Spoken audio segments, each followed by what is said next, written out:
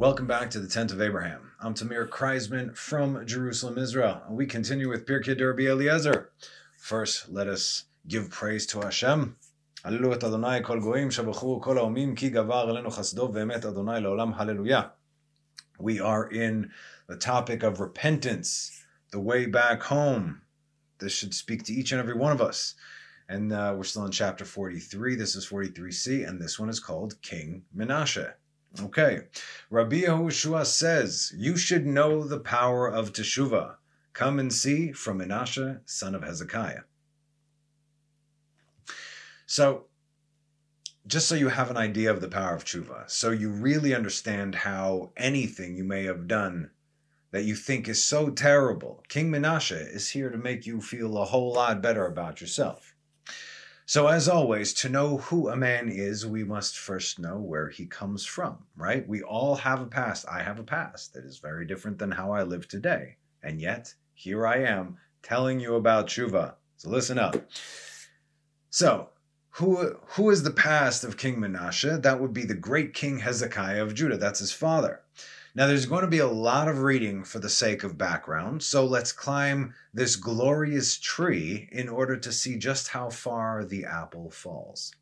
But then you'll find out the hill is actually slanted and the apple rolled right back to the tree. Okay, so we start with Hezekiah, the great king of Judah and father of Menashe. He was the 12th king uh, from David, and since the end of the days of Solomon, and since the kingdom of Israel split Israel and Judah, right? Both kingdoms of Israel and Judah were in a steady decline, right? The peak was pretty much Solomon with the temple. Afterwards, they split. But along comes Hezekiah and cleans up the kingdom. Second Chronicles 29. Uh, we'll start with verse 1 and 2. Hezekiah became king at the age of 25 years, and he reigned 29 years in Jerusalem, and his mother's name was Aviah, the daughter of Ze- uh, Bat Zechariah. And he did what was proper in the eyes of the Lord all the days, uh, as all that his father David had done. He cleanses and purifies and rededicates the temple. He reestablishes the Lord's holy days and feasts. He smashes the idols, altars, and all the foreign temples, right? He brings back the people of Judah to unity as one nation under God. Remember, so this guy's thing was destroying idolatry, constantly battling with idolatry. Remember that. It'll come into play. So let's see what the book says in 2 Kings 18. And he did what was right in the eyes of the Lord, like all that his father David had done. And he abolished the high places and smashed the monuments and cut down the Asherah and crushed the uh, the uh, the copper serpent that Moses had made because they took that they used it as idolatry. For until those days the children of Israel were burning incense to it, and he called it Nehushtan from Nachash.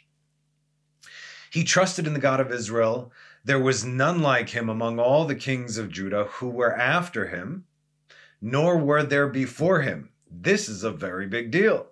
He cleaved to the Lord. He did not turn away from following him. He kept his commandments, which he had commanded Moses. Now the Lord was with him in everything he ventured. He succeeded, and he rebelled against the king of Assyria and did not serve him. Good for you. He did great things in his time, including some things we've already learned about in earlier teachings. He fortified the extended walls of Jerusalem. He rerouted the water that it should flow within the city walls, right? As we know, take the water, take the city. Once everything was done and all Israel did tshuva, that is when uh, Sennacherib, the king of Assyria, came with his million man army and laid siege to Jerusalem. If you recall, this is when Hezekiah prayed to God, saying, I'm totally paraphrasing here, by the way, okay? I did everything you asked. Why have you brought this calamity upon us? Remember, he did everything. He brought the people to tshuva, he cleansed the temple, everything was going perfect. And that's when God brought this calamity. And they couldn't get out of it, right? They were outmanned, outgunned. To which God answers, Listen now, I brought this upon you because you did everything I asked. Now you will witness my vengeance as they will fall at your feet. You won't even have to fight. Don't worry about it. So then what happened the next morning? That night, 185,000 of Sennacherib's generals were killed that night by the angel of the Lord, and the rest fled. Again, there was a million man army, 185,000 of his generals. Not a single arrowhead was found within Jerusalem, just as it's written in 2 Kings uh, 19. Uh, we'll start with verse 32. Therefore, so uh, so has the Lord said concerning the king of Assyria: He shall not enter the city, neither shall he shoot there an arrow, nor shall he advance upon it with the shield, nor shall he pile up a siege mound against it. By the way he comes, he shall return, and this city he shall not enter, says the Lord. Why? Because the king of Israel, of Judah, and Judah did good, right? And I will protect this city to save it for my sake and for the sake of my servant David, his lineage. And it came to pass on that night that the angel of the Lord went out and slew 185,000 of his camp, of, of the camp of Assyria. And they arose in the morning, and behold, they were all dead corpses. And Sennacherib, the king of Assyria, left and went away, and he returned and dwelt in Nineveh. By the way, the Talmud in uh, Masechet Sanhedrin 94a says that he was to be Mashiach ben David of his generation, but he missed his opportunity because he didn't give thanks to God for this miraculous event. What happened, right? Or not enough recognition. Later, Hezekiah fell gravely ill and was on death's door when he prayed to God for more time, right? 2 Kings 20. In those days, Hezekiah became critically ill when Isaiah, the son of Amos, the prophet, came to him. So Isaiah was his prophet at the time, and said to him, So has the Lord said, Give orders to your household, for you are going to die, and you shall not live. That's okay, prophet of the Lord. This is what he's telling me right now. That's um it's a little bit discouraging. And he turned his face towards the wall, Hezekiah did, and prayed to the Lord, saying, Please, O Lord, remember now how I walked before you truly and wholeheartedly, and I did what was good in your eyes. And Hezekiah wept profusely. And it was when Isaiah had not gone out to the inner court, the word of the Lord came to him, saying, Return and say to Hezekiah, the ruler of my people. So has the Lord God of your father David said, I have heard your prayer, I have seen your tears. Behold, I shall heal you. On the third day you shall go up to the house of the Lord. And I will add fifteen years to your life, and I will ha- uh, and I will save you from the hand of the king of Assyria. I will save you and this city, and I will protect this city for my sake and for the sake of my servant David. Right now, why did God choose to shorten his life initially? Because he refused to get married at the time. What was the thing that kind of, um, we'll call it, triggered this in a sense? So he he kind of boasted, not personally, right, but he showed off the temple vessels to foreign kings. He should not have done this. This is the equivalent of sharing secrets of the Torah with the Gentile nations. You're not supposed to do this. Everything has a very certain order, and you have to be very, um, there has to be the right environment to do so. But you don't go sharing these secrets of the inner chamber of the temple vessels with foreign kings. And so that's why he fell ill. But again, he was going to, he might have come out of it, but because he didn't have any, wasn't married and didn't have any kids, that was it, right? It's the same reason why uh, Nadav and Avihu, the two sons of Aaron, they weren't married at the time. It says a man that is not married is not a complete man, right? Because man is actually male and female. Zachal male and female, he created them. So man is both male and female. All right. So the reason he refused, right, uh, to get married up until that point was because he saw through Ruach HaKodesh that his children would do tremendous evil and so he decided not to even go there, right? But as we know, the Torah tells us already in Genesis that it is not good for man to be alone, as well as to be fruitful and multiply. And so what will become of his descendants is not in his hands, right? But rather all part of God's plan. And so, as a tikkun or rectification for following uh, his own understanding, uh, it was completely sincere, right? He's like, my sons are going to be idolaters. I'm just not going to have sons, right? But the command, you cannot go against the command of the Torah, even though you're sure what the outcome is going to be. That is already beyond you, right? So his intentions were sincere for the sake of God, but God don't play that. He can take care of himself, right? Okay. The great prophet Isaiah, who was Hezekiah's prophet at the time, gave his own daughter in the hand in the hand of marriage to the king. Hezekiah's argument was this: perhaps we can combine both our merits. I'm a righteous king. I'm sure he didn't use those words because I'm, you know, I'm in good standing with God. You are obviously the prophet Isaiah. Give me your daughter, and maybe the kids that'll come out, they won't be so bad, right? They won't be so wicked. He then married Isaiah's daughter, and she bore him two sons, Ravshakeh, of all names, and Menashe. Ravshakeh was, I say of all names, because when the Assyrians came to the wall, Ravshakeh was, it said that it was uh, one of, it was either a Hebrew man, like a Jew, um, speaking Hebrew to the people in Jerusalem to scare them on behalf of the Assyrians, or he was an Assyrian who knew how to speak Hebrew. Some Mefarshim say that it was Menashe's son, but timeline wise, it has it's it's impossible, right? Because he gave him another 15 years. He reigned only 29 years. So the last 15 years that he got, he wasn't married at that point. These events are not in that order at all, okay? But again, it's like, oh, because they got the same name. So why did he name his kid this? Who knows? Anyway, not the point. So Ravshakeh and Menashe. Menashe. We know where this is going, right? The question is, how could a righteous man have wicked children? This question also reminds us of who? Abraham, who had Ishmael, not Sarah, because Sarah had Isaac, right? But what if Isaac and Rivka, both of them were righteous, and they had Esau? Hagar had Ishmael. There is an answer for these questions. Check this out. As the leader of the generation, be it the patriarchs or the righteous king of Judah, in Sefer Likutei Avot, chapter 2, it says the following For as the king is to the people, uh, for, for as the king is to the people, as the body is to the head, right? Always. Like I've told you this before, the face of our generation are the leaders. Look at your president, look at our clown, and so on and so forth. It's it's it's clown city, right? That is they are the face of the generation. This is what is going on everywhere else. Just look at that okay?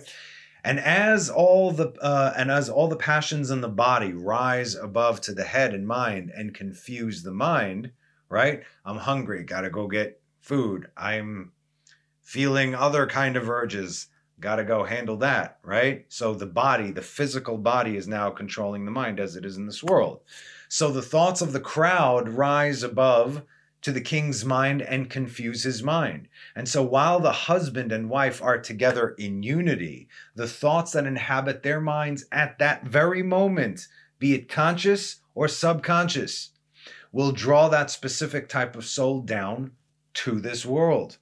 And since Hezekiah was dealing with destroying idols and idolatry all the time, like we said, that was his focus, right? To do this.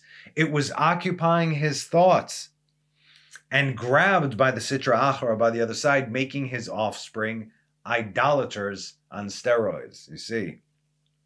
His son Ravshakeh may have been, like we said, the Assyrian who spoke Hebrew, taunting the inhabitants of Jerusalem during the besiegement, and was burned by the angel of the Lord that very night. So, whether it's his son or not, again, timeline doesn't work out, but the Ravshakeh who spoke to Israel that night from the Assyrian camp. He was one of the 85,000 who got burnt alive. And the time, uh, so like we said, timeline doesn't necessarily add up. But now we can, um, uh, oh, but regardless, Ravshakeh, he ended up worshiping wood and stone anyway.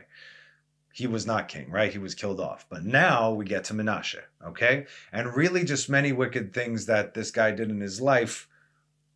We're going to go through everything until he did tshuva. Now, now that we have all his background as to where he came from, let's see who he was.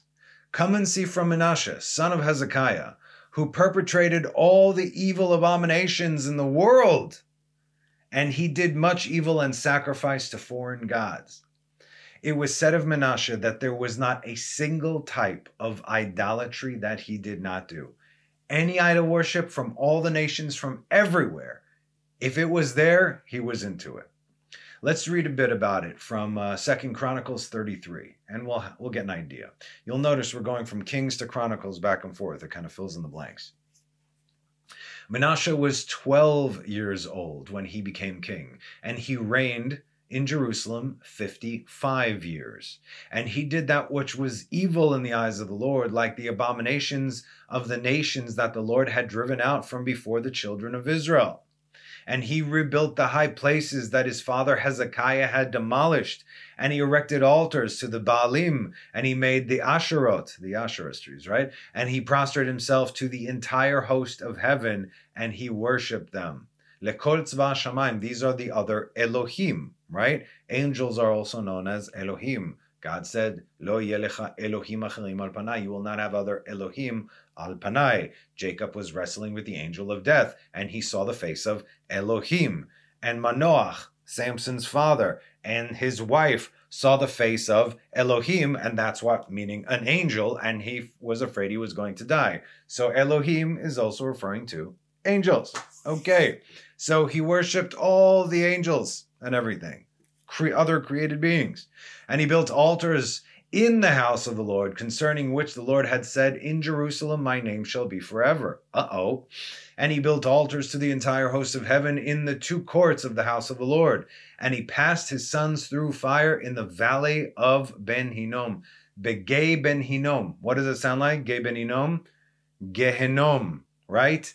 Where is Gay Ben Hinnom? It is a valley um, between the promenade, where the, the lookout overlooking Temple Mount. That's where I, in the King and the uh, City of David video, I'm standing there with my brother overlooking Temple Mount. There's a big valley over there. That's where Abraham stood when he was with Isaac, Ishmael, and uh, Eliezer.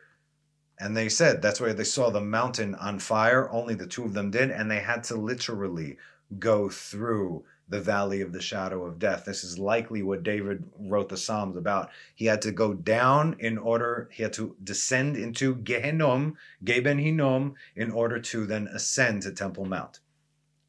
He passed his sons through the fire in the valley of Ben Hinnom. He practiced soothsaying, divination, and sorcery, and he consulted necromancers and those who divined by the uh, bone, Okay? He did much that was evil in the eyes of the Lord to provoke him. Everything. And he placed the graven image of an idol that he made in the house of God, concerning which God had said to David and his son Solomon, In this house and in Jerusalem, which I have chosen from all the tribes of Israel, I will establish my name forever. And I will not continue to remove Israel's feet from under. Uh, uh, from the land that I have given their forefathers, if they will build, if they will but observe to do that I have commanded them, according to the law, according to all the law, that the statutes and the ordinances that Moses my servant commanded them. And Manasseh led Judah and the inhabitants of Jerusalem astray to do what was evil, more than the nations whom the Lord had destroyed from before the children of Israel. So at that point, Manasseh and Judah were more idolatrous than the seven Canaanite nations that God said, get them out because their stuff is abominable. And the Lord spoke to Manasseh and to his people, but they did not listen. All right. So we know that God speaks through the prophets. So let's jump now to 2 Kings 21 and see what God said. And the Lord spoke through his servants the prophets, saying, Since Manasseh has committed these abominations, he has done more wickedly than all the Amorites who were before him, and caused Judah to sin with his idols. Therefore, has the Lord God of Israel, as the Lord God of Israel said, Behold, I bring calamity on Jerusalem and Judah, concerning which the two ears of those who hear it will tingle. And I will stretch over the Jer- Jerusalem the measuring line of Samaria and the plumb line of the house of Ahab, and I will wipe Jerusalem as one wipes a dish. He wipes and turns it upside down and I will forsake the remnants of my heritage, and I will deliver them into the hands of their enemies, and they will become plunder and prey for all their enemies. Since they did what was evil in my eyes, and they constantly provoke me, since the day that their forefathers left Egypt until this day. Is this a true statement?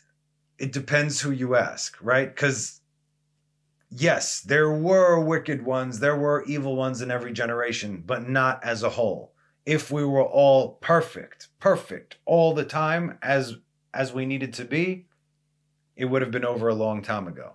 So God is obviously talking about in every generation. Today, if you tell people you keep two Shabbases properly, if Israel in the land of Israel kept two Shabbatot properly, Mashiach would come. let's say a third of the country would do it. The other Jews would be like, no, I'm not doing it. It's great. Their grandparents also survived the Holocaust because they or were in the Holocaust because they were Jews. And yet they won't do it. We always got those. It's okay. Their, their time is coming too. Remember, 20% are surviving. That's it. Moreover, Menashe shed very much innocent blood until he filled Jerusalem from one end to the other, beside his sin that he caused Judah to commit, to do what was evil in the eyes of the Lord.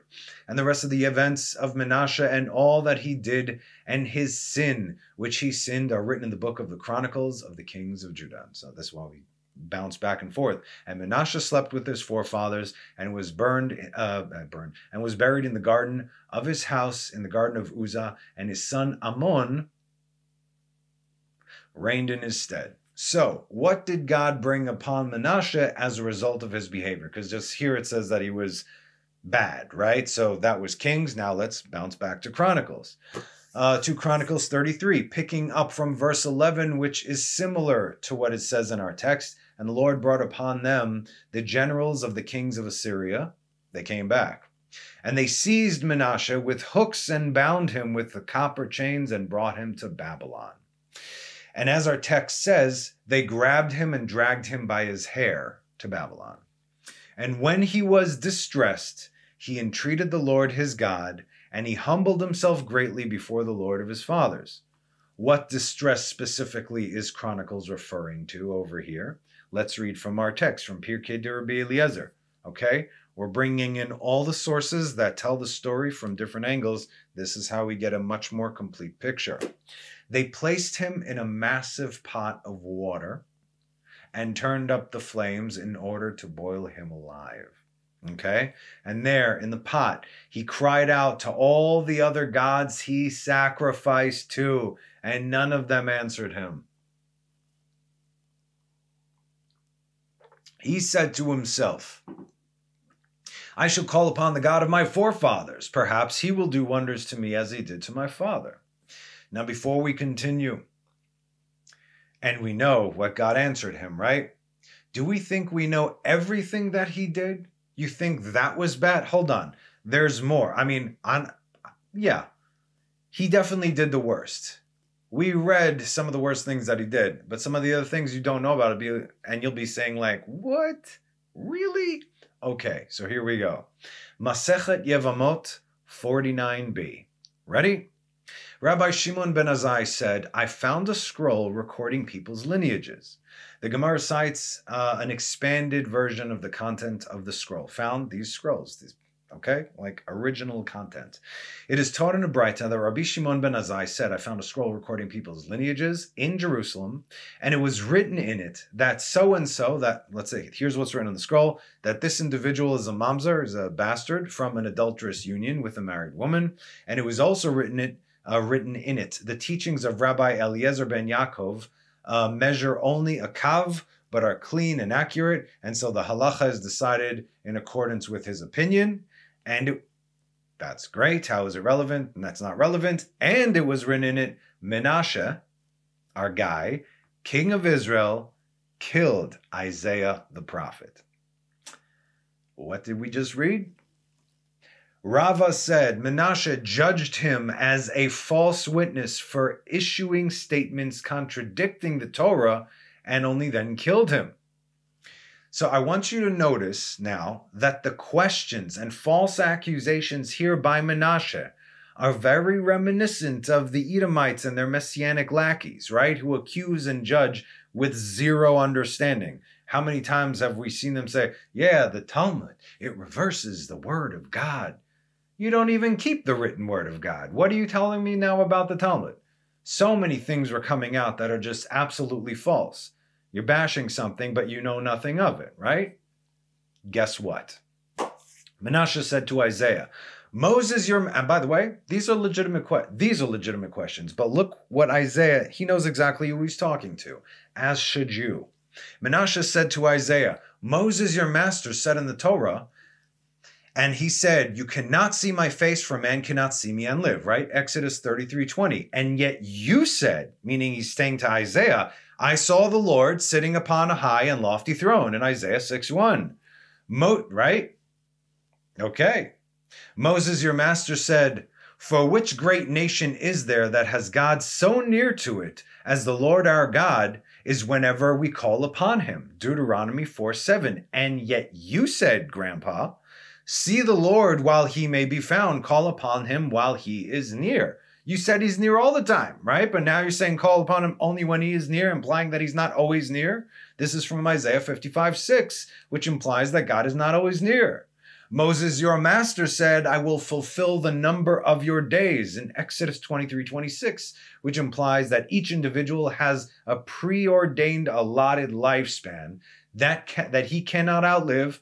And yet you said in a prophecy to King Hezekiah, Dad, and I will add to your days 15 years. 2 Kings 20, verse 6. So, like we said, these are all excellent questions we, Israel, actually have the answers. And yes, we will definitely be answering these questions right now. However, these fools, these, these fools that ask these questions with this connotation, they do they don't do so in order to receive some sort of answer, but they do it to try to try and make like, oh yeah, so why didn't you tell me about oh okay, no problem. Remember, these are the same people who believe that God looks like a man. Okay, that should that should be enough. I so okay. And the way you deal with these people is by having the same understanding of Isaiah as who stood before him.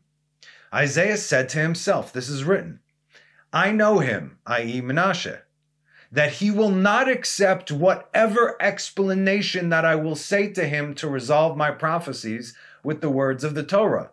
So, in other words, Isaiah the prophet saying, I can, of course, answer these questions simply, easily, but I know he didn't ask me because he really wants to learn. He asked me to kind of, you know, vindicate himself. And even if I say to him, Isaiah continues, and even if I say to him, I will make him into an international transgressor, since he will kill me anyway. In other words, don't do what you're about to do. In other words, it doesn't matter what I say to him, he's going to kill me anyway. So Isaiah knew, I'm telling you this now is my, my words, Isaiah knew he was about to be killed by his grandson. And he also knew that there was no way out of there for him, right? So then why did Menashe ask these questions anyway if the truth doesn't even matter to him? Like we said, it was for him or any other delusional individual who will not see or accept truth because that would make them wrong. And we know that most people, especially idolaters, would rather die than be wrong. Therefore, in order to escape, we go back to we go back to the Talmud, in order to escape, he uttered a divine name and he was swallowed within a cedar tree. They could they knew exactly these names and then they could do magic, right? So his guards were chasing him. He said a name, whoosh, disappeared right into a tree. Menashe's servants then cut that tree down. They brought it and sawed through it and killed him. And when the saw reached to where his mouth was, that's where he died. In other words, they killed him, they decapitated him from his mouth area. He died specifically at this point due to that which he said from Isaiah 6 5. In the I am in the midst of a people of unclean uh, in the midst of people of unclean lips I dwell. He was punished for referring to Israel in a derogatory manner. You see, that's why we see in the few verses after this uh, this thing took place he was saying what, what he said it wasn't a good thing. So from Isaiah 6, verse 5, and I said, Woe is to me, for I am a man of unclean lips, and amidst of a people of unclean lips. I dwell for the king, the Lord of hosts, have my eyes seen. And one of the seraphim flew to me, and in his hand was a glowing coal. With tongs he had taken it from upon the altar. And he caused it to touch my mouth. And he said, Behold, this has touched your lips, and your iniquity shall be removed, and your sin shall be atoned for. You understand? That would be the sin for, te- for talking bad about Israel. And the reason he wasn't ended right then and there was because he still had work to do. It wasn't because he said, I'm a man of unclean lips. It's because he said, I'm among a people of unclean lips. Remember, um, uh, I not Isaiah, uh, Elijah the prophet, right? When he told God, all your people they bowed to Baal, they're gone, they're all rebelling, all this and that, and he said, no, there's still seven thousand whose knees did not bend, right? So that's where he basically rebuked Isaiah, said, okay, I think you've been alive for long enough, buddy. Come up here. All right, so he still so Isaiah still had work to do. So Menashe killed his own grandfather, Isaiah the prophet. But if you think that we're done, no, you are mistaken.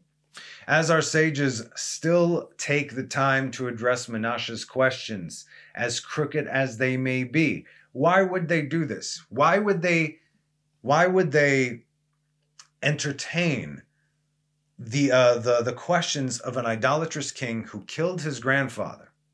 because this is what it says in Pirkei Avot, the Ethics of the Fathers, 214. Rabbi Elazar said, Be diligent in the study of Torah and know how to answer an apikoros. What is, who is an apikoros? Apikoros is a heretic. So let's continue from Talmud. You see, they lived that way back in the day also. The Gemara asks, in any case, as Menashe pointed out, these verses contradict each other. How are these contradictions to be resolved? The Gemara resolved the first contradiction. I saw the Lord is to be understood as it is taught in a Braita. All the prophets observed that where he said, I saw the Lord sitting on a throne, right? All the prophets observed their prophecies through an obscure looking glass, aspaklaria, it says. Their prophecies were given as metaphoric visions, but were not a direct perception of the matter. However, you guys understand what I just said? They're seeing images. They're showing, they're showed what God wants them to see, and then they give their own limited understanding and interpretation of what they saw, right? It wasn't exactly like that. However, Moses, our master, Moshe Rabbeinu, observed his prophecies through a clear looking glass, i.e., he gained a direct and accurate perception of the matter. You want prophecy? Read the five books of Moses, okay? That's prophecy right there. That's what everything is based on. So, do you understand? A prophet can only describe what they are shown in a very limited way, as what they are seeing is also very limited to begin with.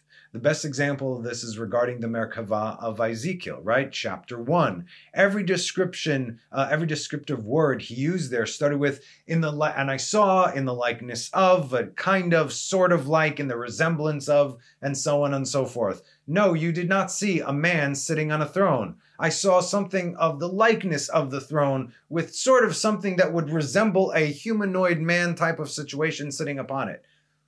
The Edomites read it, they're like, clearly he saw what's his face on the throne there. Obviously, not, not obviously. So again, all this stuff is so important. Otherwise, you might think like them that God has an image or that he looks like a man. Remember the Ten Commandments. God said that was impossible both before, during, and after.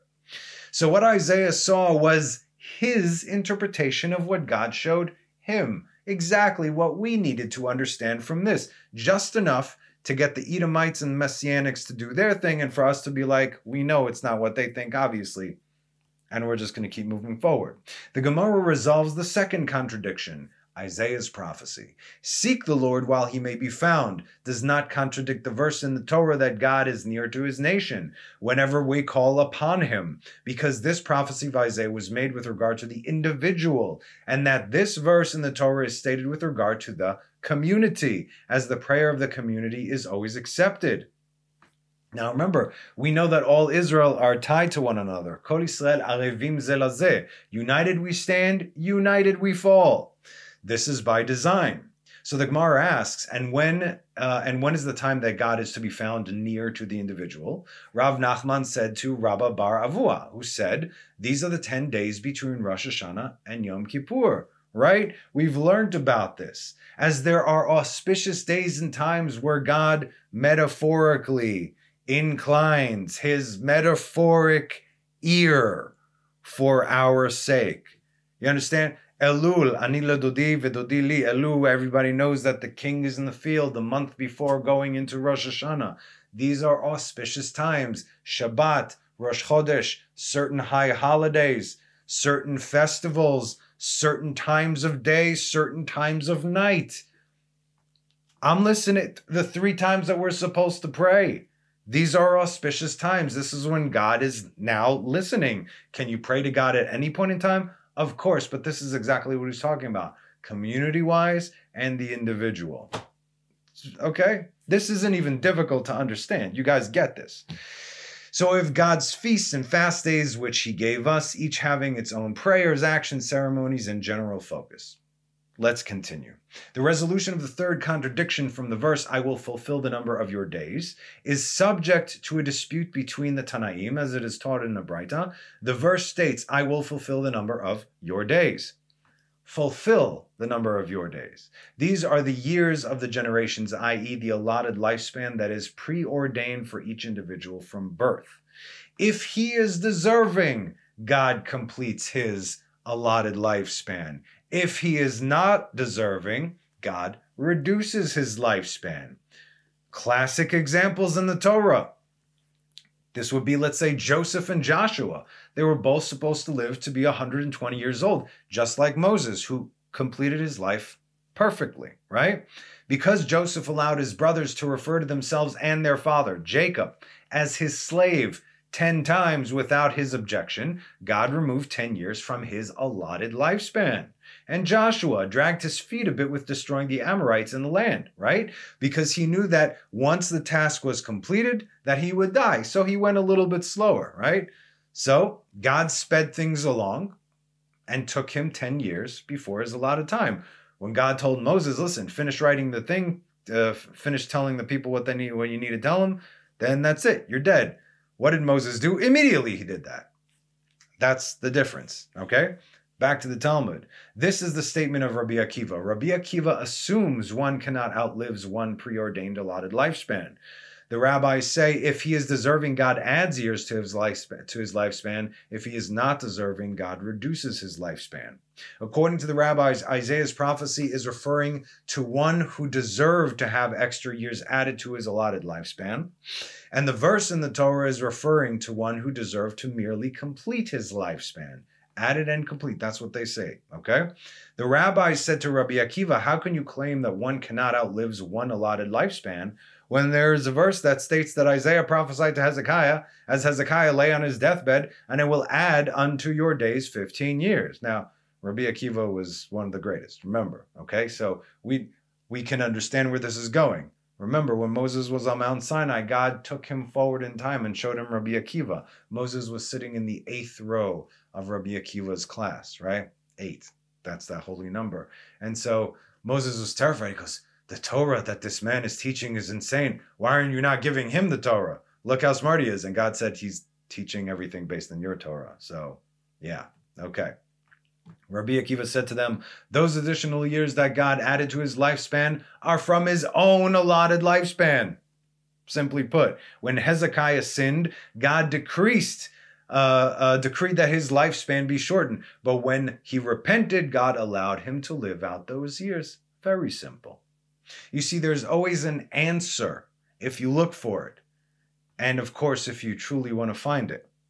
Most people just want to con- uh, to confirm they want confirmation of their own personal belief, no matter how wrong or askew it may be. This is not only the Edomites, this is pretty much everybody, right? So if you can make the distinction between these two, you will save yourself a lot of time from, you know, well, how did Isaiah put it? Um, I know that he will not accept whatever explanation that I will say to him. And even if I do say it to him, I will make it uh, I will make him into an international transgressor since he will kill me anyway. So, in other words, guys, honestly, don't get into it with people. You will know how when people genuinely want to learn, they will want to learn, they will come to you, right? But not prove that what I believe is false. That doesn't work. Or if people hold on to idolatrous beliefs, good luck with that we cannot remove anyone's idolatrous beliefs, right? Doesn't matter how much text we show them. That is for God to do. So, so long as they're there, let God handle them. And if they are not removed from it, that's because they're not supposed to be removed from it. So, don't waste your time and move along. So, like we said, do what Isaiah did and just leave or run. It's not worth your time.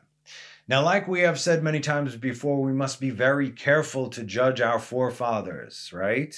As um, as we were not there with them to actually witness what went down. We know we have the writings, but there's so much more than just you know you're reading uh, a person's entire lifespan in a few verses. That's not a thing, right? I'll tell you a story. Did I tell you the story before? I don't recall.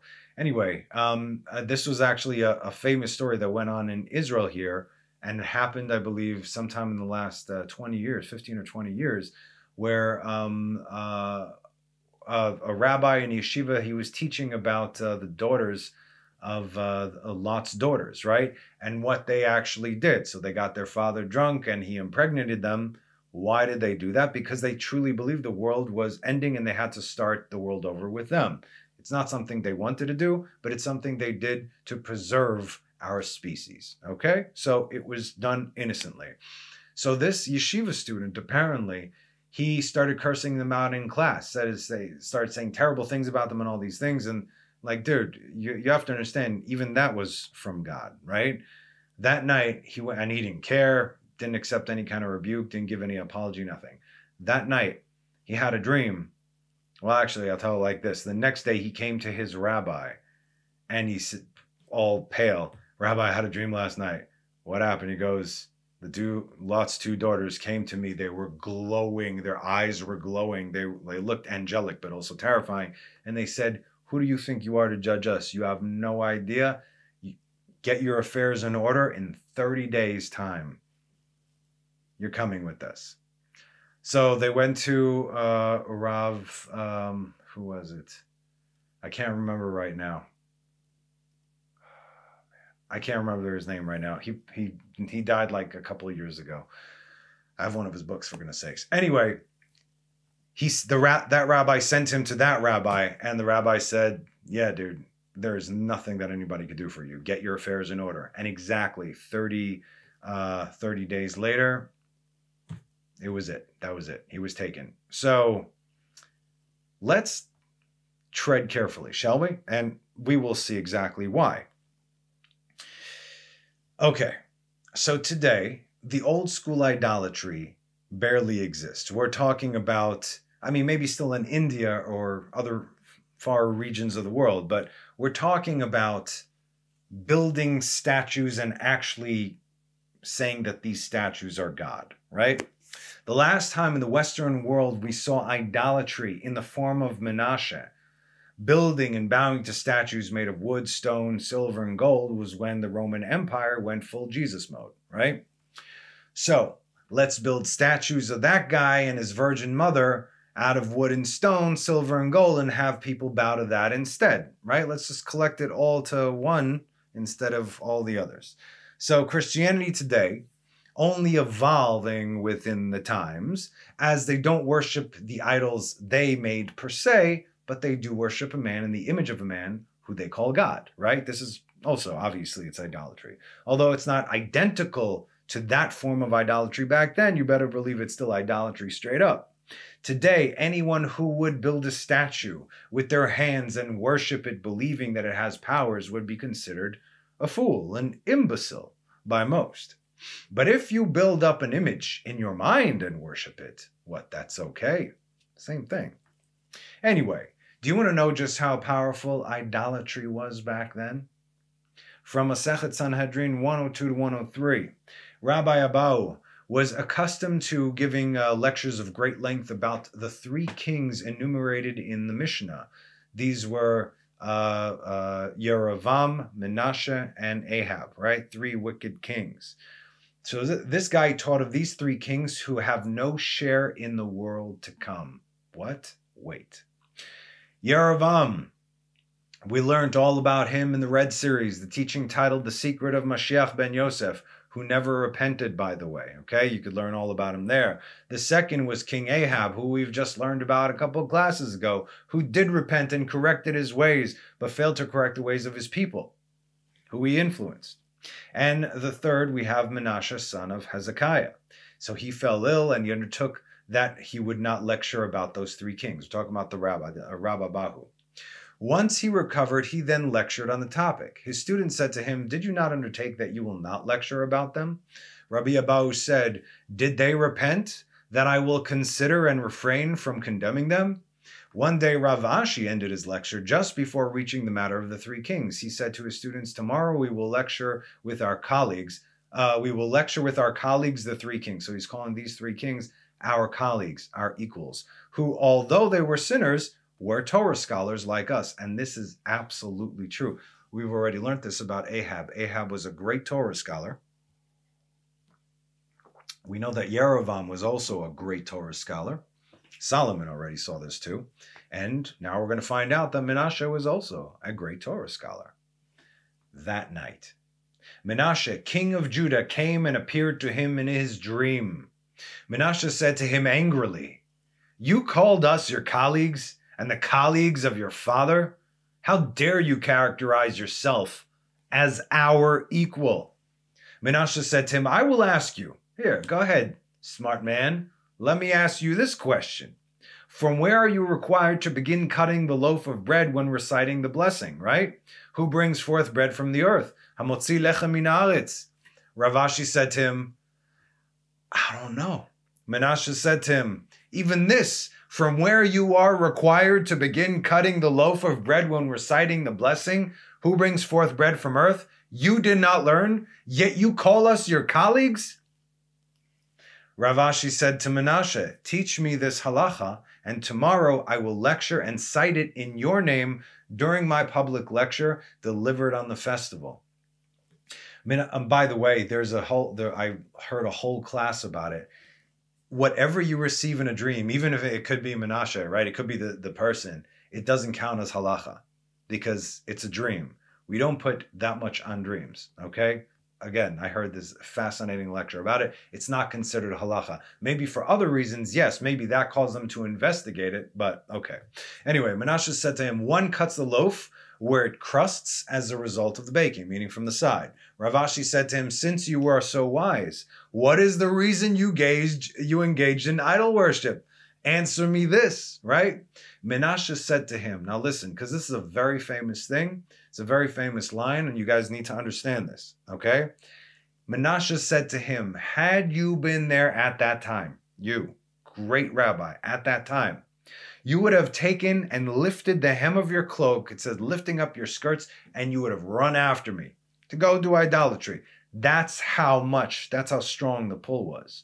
You understand that the pull towards this base idolatry was so strong that for a moment it pulled away. For a moment, it pulled away in the golden calf 3,000 men from Israel who had seen the hidden secrets of the universe during during uh, uh, Mount Sinai. They saw this. They saw till the ends of time, till the ends of the earth. All the secrets were revealed to them, and then they sinned with the golden calf for a moment, yes? In other words, they didn't even partake in the stuff. They just, for a moment, they knew that it would do no good for them. They knew it was a lie, and yet they could barely help themselves. Like we know right now, for instance, when we do sins, we'll do the sins because maybe it's not so bad. We, you know, we rational, uh, we rationalize our, uh, our our behavior and say, okay, I could get away with this. I heard something. What was it? was really cute. I forgot. Um, some guy said it, but in any case, when the truth is going to be revealed, when Mashiach comes and the truth is going to be revealed, doing sin is like putting your hand in a blender. No one would put a hand their hand in a blender and turn it on. Of course not. That's bad for you. That's how we're going to realize how bad it is to sin. We're not going to want to sin, right? So that's how strong the pull was back then. Today, I would agree with our rabbis that the closest equivalent to what that pull would be would be sexual immorality. Okay? Look at the world today. See how sexualized everything has become in the most extreme of ways, right? It's become so mainstream that everyone is doing it without even doing it. It's not even like a thing, it just is. There's a reason that men in Mea Shearim, they walk around with their eyes on the ground. God forbid they should stare at a woman, even if she's covered from head to toe, for this idol- idolatrous type of pull. That's your idolatry of today. Once upon a time, they would place a woman once upon a time. When when was this? In the 70s, 80s, 90s even? They would place a woman on a car or in front of a car to try and sell the car. You know, does the girl come with the car? Get the car, you might get the girl. Who knows? Or someone like that girl, right? This is using this to sell, right? Now they're just selling the women. Car, whatever, right? In fact, the women are selling themselves. They're doing this. Strong, independent women. Feminism has come back full circle, hasn't it now? Yeah, that's feminism. Okay. It's not, obviously. It's an affront to feminism. Idolatry and sexual immorality at this point, in this day and age, it would seem like they're almost one and the same. Everything. It's like you don't have to, I'm coming from Vegas, right? You don't have to go to Vegas to have that Vegas type of atmosphere. It is everywhere, it is in most homes. Fathers, watch your daughters. What's going on over there? Do we have a clue? Maybe a little bit, an idea of how strong the pull was for idolatry back in the day? A clue, maybe, right? Because the pull was beyond what anybody today would be able to stand. And that is what God was talking about when He told us, You shall not follow in their ways. That pull is strong, people. Those ways will lead you to be boiled alive. And so, they placed him in a massive pot of water and turned up the flames in order to boil him alive. And there, we're back in PDE if you didn't notice, in the pot, he cried out to all the other gods that he sacrificed to, and not one of them answered him. What does this remind me of? I hope this reminds you of the same thing. We actually reviewed this uh, this verse. This is from Micah 4, ch- uh, chapter 4, verse 5. For all peoples shall go, each one in the name of his God. But we will go in the name of the Lord our God forever and ever. So, in the end, like we said, go to the man that you were praying to all these years, cry out to him, see if he helps you. It's not going to happen, right? We will go with the name of with our uh, name of our God. But these are the Gentile nations. Their root itself stems from idolatry. But what about Menashe, right? What about this guy? Though he drenched himself in the stench of idolatry, he and his kingdom, yet his root, his essence, his very makeup is not. He said to himself, I shall call upon the God of my forefathers with all my heart. Perhaps he will do wonders for me as he did for my father. Now you might be thinking to yourself, for goodness sake, how can one so wicked and evil be heard by God? Why would God even give, give him an audience after everything he had done? And what's worse, causing Israel to fall with him? Why would God listen to him? Did you hear that person over there who thinks you did really, really bad things, but they don't come close to how bad this guy lived? So I tell you, you are not alone in your thoughts, as some of our sages agree. From Sanhedrin 102b. He was called Menashe, Menashe, because he forgot God. Nas, nasa, ya, not like carried elsewhere.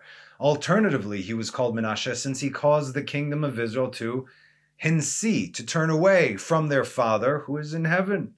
And from where do we derive that Menashe does not enter into the world to come? The Gemara answers it is derived as, as it is written. Menashe was 12 years old when he began to reign, and he reigned 55 years in Jerusalem. And he did that which was evil in the sight of the Lord, and he made an Asherah, and as did King Ahab of Israel. 2 Kings 21, 1 to 3. Just as Ahab has no share in the world to come, so too Menashe has no share in the world to come. Okay, whoa, hold up now. Wait a minute. First of all, we know that this is a tshuva story, as was with Ahab. They're tying them together. If Ahab, tshuva, if Ahab had tshuva, so does Menashe. And if Menashe has tshuva, so does Ahab. Wait for it. So, we know, like we said, this is a tshuva story. Second, how can we possibly get around what he did? How? Our text in Pirkei de Eliezer explains. And he called upon the God of his forefathers with all his heart. And he, God, entreated him, and he heard his prayer, as said in 2 Chronicles 33 13. And he prayed to him, and he accepted his prayer, and he heard his supplication. Amazing. God heard this man's cry?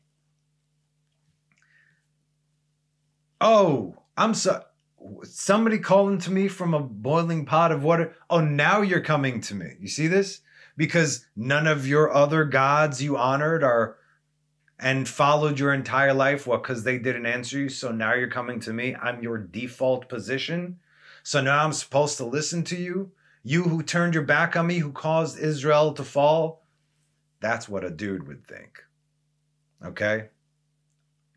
And yet we read, and he accepted his prayer and he heard his supplication. What did Pirkei D'rabbi Eliezer add here to the verse in Chronicles? There's only one reason God answered him.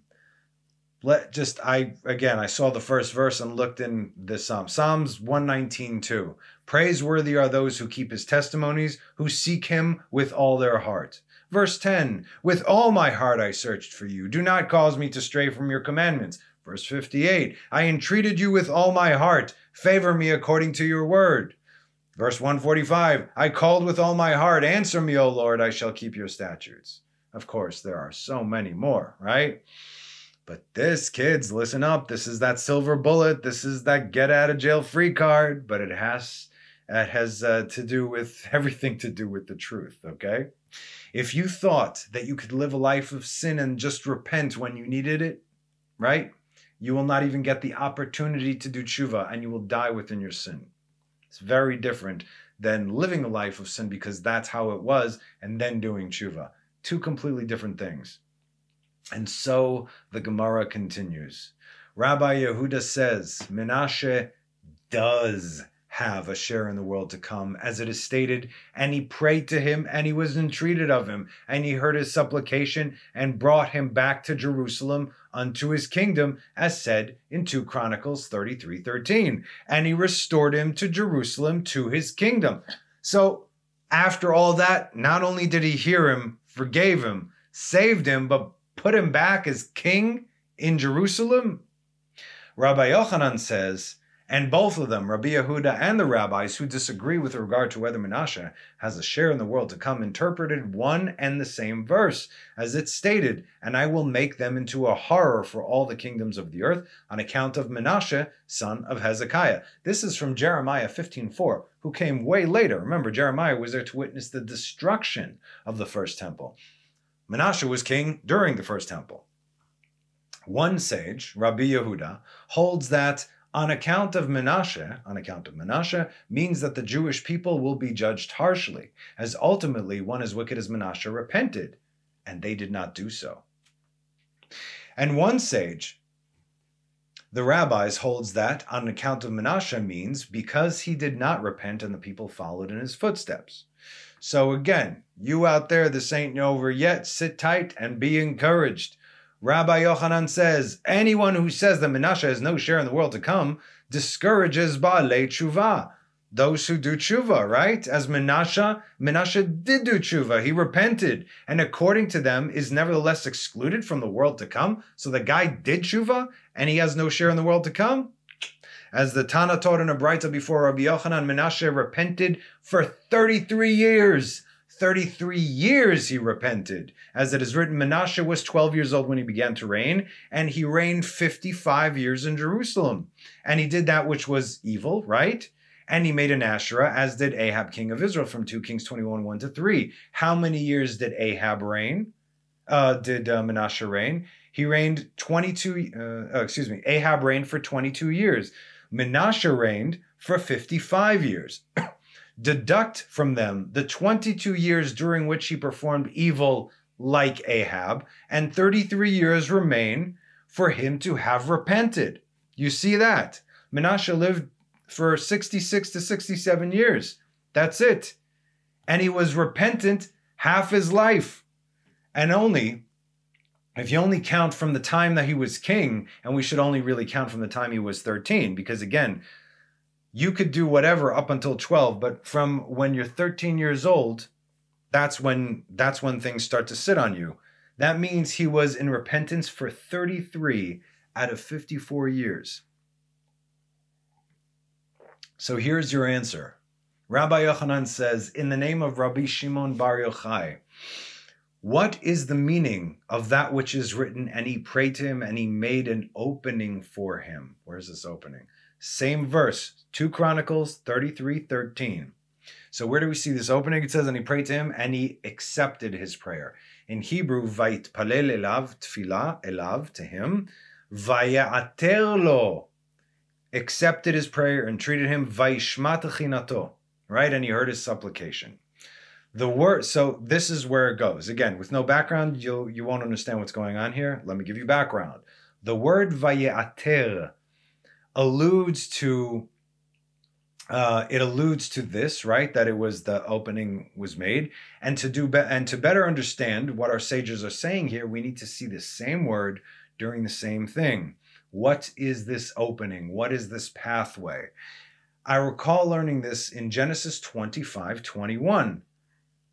Vayater Yitzchak Hashem, and Isaac prayed to the Lord opposite his wife because she was barren. And the Lord accepted his prayer, and Rebekah his wife conceived. Vayeater laAdonai lenochach ishto ki akara hi, Vayeater lo again Adonai, vataher Rivka ishto.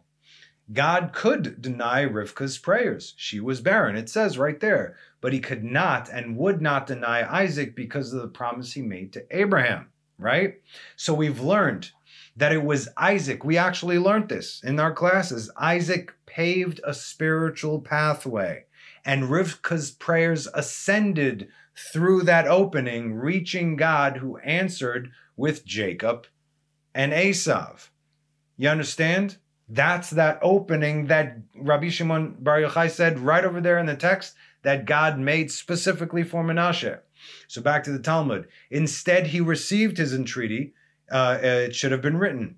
Rather, this teaches us that the Holy and Blessed be He crafted for him a type of opening in heaven in order to accept him in repentance. It was necessary for Menashe to enter the world to come in a clandestine manner due to the attribute of justice that sought to prevent his entry by claiming that his sentence was irreversible. You did that, there's no coming back from that. You did that, there's no coming back from that, right? Hold on. And so, what happened when God heard and answered Menashe? He took him out of the boiling pot in Babylon and returned him to his throne on Jerusalem.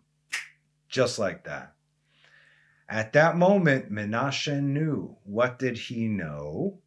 And he prayed to him and he accepted his prayer. What did Menashe know? And he accepted his prayer and he heard his supplication and he restored him to Jerusalem to his kingdom. And Menashe knew that the Lord was God. Vayeda Menashe ki Adonai hu Elohim. As our text says, at that moment Menashe said, There is justice and there is a judge. Yesh din veyesh dayan.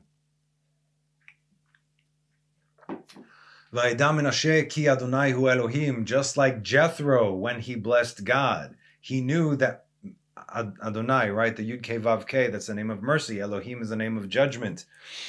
Jethro understood that God's judgment is hidden within his mercy, and his mercy is hidden within his judgment, right? Mercy is judgment, and judgment is also mercy. Yes, you can have one God with different ways of doing things, with different aspects and attributes. And so everything that comes from God, which is everything that happens throughout this world, is perfect in every way. And if we don't understand it, Heavens forbid that God is off. Let those thoughts never cross your mind. I believe that God places us in specific situations so we can know just as just as Jethro knew, a Baal Tshuva, just like Menashe, a Baal Tshuva, that God is all and there is none other than him. Ein od milvado. And when I think of the things that I wrote over here, ironically, the verses that come up, right? starting with the verse that Menashe chose to use to excuse the killing of his own grandfather Isaiah from Isaiah 55, which says, Seek the Lord when he is found, call him when he is near. The wicked shall give up this way, and the man of iniquity his thought. He's prophesying to his own grandson here. The wicked shall give up his way, and the man of iniquity his thoughts, and he shall return to the Lord, who shall have mercy upon him and to our God, for he will freely pardon. It's all about tshuva. At this point, I can just picture Menashe boiling in that pot, right? And his grandfather's words are piercing his very soul. Now, finally, Menashe sees the truth, and he cannot be more humbled, as it said, and he was humbled before God. He cannot be more humbled than he was at that very moment. The king of Judah boiling in a pot of water as his enemies are all around him laughing and ridiculing him. He knew that he didn't need to understand everything that God said through the prophets, but only accept them, as Isaiah's words would continue to ring through his heart. For my thoughts are not your thoughts, neither are your ways my ways, says the Lord. As the heavens are higher than the earth, so are my ways higher than your ways, and my thoughts higher than your thoughts. For just as the rain and the snow fall from the heaven, and it does not return there unless it has satiated the earth and fructified and fructified its further uh, and furthered its growth and has given seed to the sower and bread to the eater so shall be my word that emanates from my mouth. It shall not return to me empty unless it has done what i desire and has made prosperous the one whom i sent it because Hezekiah and Isaiah knew that Manasseh was destined to be evil, they did everything they could in order to prevent this. And so in his earlier years, he too was a Torah scholar. The kings of Judah, the good ones, they were Torah scholars. You think father like Hezekiah and a, grandfather like Isaiah wouldn't sit down and learn Torah with you and good midot, good attributes every single day? Of course they did this. And so, like we said in his earlier years, he was also a Torah scholar though it was put on hold, it all, boom, it all came back to him, pouring like water to answer his heart's most burning desire. He said, Despite everything I did, the man that I have become, is this it for me? Is this is how it, this is how it all ends in this boiling pot of water? Then in his darkest and lowest moment he remembered the words of David his father as said in Psalms 51:19. The sacrifices of God are a broken spirit. O God, you will not despise a broken and crushed heart. God is not a man that he should lie. So, why does it focus on all his evil deeds, but not on his tshuva? The most wicked king, and this and that wicked, he did all these things. This just builds the aspect of tshuva. Tshuva is a given. As we've learned, it is a condition upon which the world stands, upon which reality exists. So much so that God Himself will carve out an opening to circumvent all the evil you may have done. And He will not deny your heart so long as it is all of it, and so long as it is true. I said in Jeremiah 29, and you shall call me and go pray to me, and I will hearken to you, and you will seek me and find me, for you will seek me with all your heart. Do not delay your return, my friends. There is uh, there was a way back home for Menashe. You better believe there's a way back home for you. You just got to go find it. But start now. That's our class for today, kids. So it's the uh, Muslims' uh, Ramadan, Ramalama Ding Dong, right now, officially starting today, according to the moon, according to the Hajjs. And they are inciting extra violence from within our borders and Temple Mount and all that good stuff within our streets. So, if you are in Israel, please be aware of your surroundings. Chaos is upon us. And if you are not in Israel, well, chaos is already upon you then. Anyway, you guys have a wonderful rest of the week. Thank you really so much for being here every week with me. Be safe and have a Shabbat Shalom. God willing, I will be back next week to share more of this good, good stuff. Bye bye.